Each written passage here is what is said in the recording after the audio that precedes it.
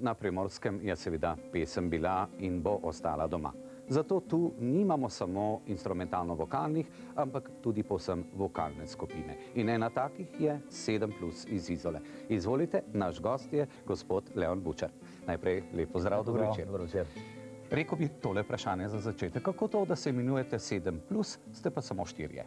Ja, to je že kar klasično vprašanje, ki se nam postavlja, kjerkoli se pojavljamo. Gre v bistvu za eh, glasbeni izraz, za zvišano septino. To je mišljeno. Poglejte, črnska duhovna pisem, pa tako popularna v Sloveniji, pa bi človek rekel, čudno, se nima nobenih korenin, pa jo prepevajo radi ljudje, pa je veliko tudi ansamblov, recimo New Swing Quartet je že tak in seveda tudi vi. E, poglejte, e, prav ste rekel, ne, črnska duhovna glasba pravzaprav ni nova v Sloveniji, že nekako domačena ravno, e, največji krivci so New Swingi, 30 let jo prepevajo, tako da se potem seveda ostali bendi, kvarteti od njih učijo in seveda ideje dobivajo od njih, saj začetne, tako kot, kot, kot tudi mi. V čem je pravzaprav lepota te črnske duhovne pesmi? Jaz nisem ravno kakšen velik glasbenik, na to se bolj malo spoznam. Kako to, da nam je slovencem ta glasba tako blizu? Zato, ker uh, slovenci v glavnem ljubijo štiriglasno petje in to je seveda v bistvu eno tako nadaljevanje. Če se ve, mi smo tudi uh, zborovski pevci, pravzaprav ena ožja družba komornega zbora iz Izole, ki smo se lotili take glasbe, se pravi štiri vokalne in prva taka zadeva je bila seveda črnska duhovna pesem. No, v zadnjem času pa imate veliko tudi druge vrste glasbe, raznih prired, popularne glasbe, pa celo nekaj avtorskih del. Se pravi, se počasi vendarle spreminjate iz tistih tipičnih, rekel bi, soul glasbenikov v nekaj drugega ali se motim? Bolj bi rekel, da je to naša želja, ker avtorskih skladb pravzaprav še nimamo, imamo pa že v, v svojem repertoarju skladbe, ki se v Sloveniji mislim, da ne izvajajo, da jih slovenski izvajalci ne izvajajo. To so recimo priredbe kvarteta Manhattan Transfer. Tu smo že poskušali eh, nekaj, bi rekel, avtorskega, eno besedilo imamo slovensko, eh, balado o klarinetu in trubenti. To je delo našega eh, umetniškega vodja, našega člana Marjota. Seveda, naprej v letošnjem letu si pa vsekakor želimo, želimo nekaj avtorskega narediti. Se pravi, v prihodnem letu, kaj ti zdaj smo čist, še nekaj ur? Še malo manjka. še malo manjka. Kaj pa boste počeli nocoj? Nocoj, nocoj bomo eh, šli vsak po svoje, kajti december mesec je bil za nas eden tistih najbolj napornih, najbolj delovnih, za nami je 14 koncertov in smo rekli, da se ne smemo več videti saj 20 dni, da se ne pokregamo, ker je bilo zelo naporno, celo snemali smo v začetku meseca, Eh, tako da res gremo praznovati z družinami, pravzaprav cel mesec jih nismo videli, zato ki gremo vsako svoje. Tako, torej to je skupina 7+. Vabim kar preostale tri člane in seveda vaša čudovita pesem 16 Tons.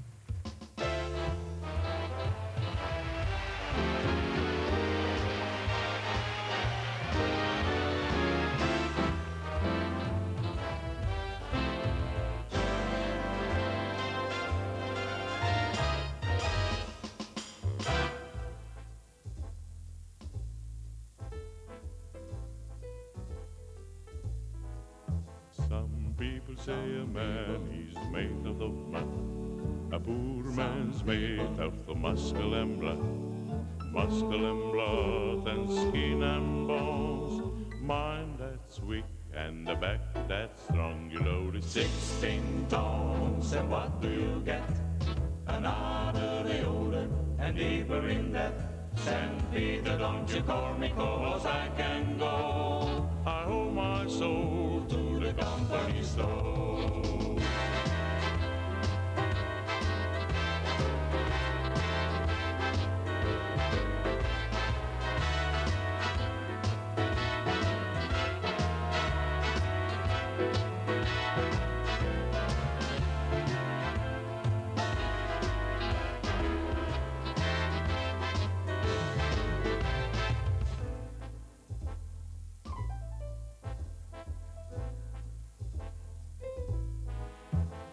was born one morning when the sun did shine.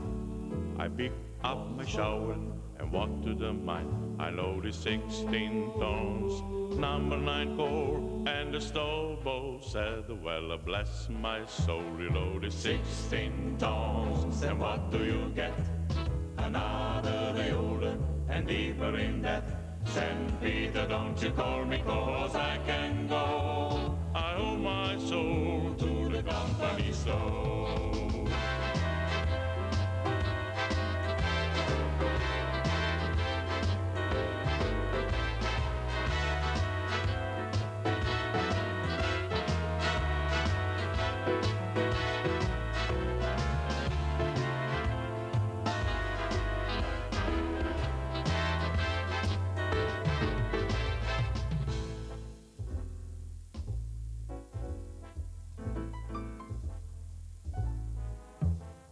See me coming better, step aside.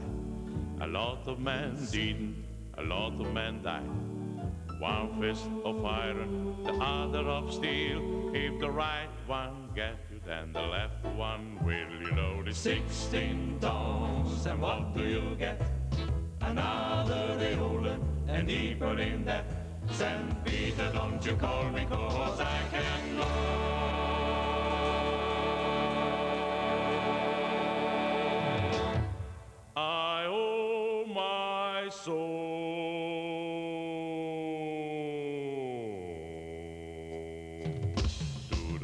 company store. Six ding dongs, what do you to get? the company store. Six ding dongs, what do you to get? the company store. Six ding dongs, what do you get?